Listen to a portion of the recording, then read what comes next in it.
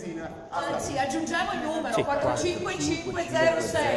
Eh, questo è il comando, è il eh, numero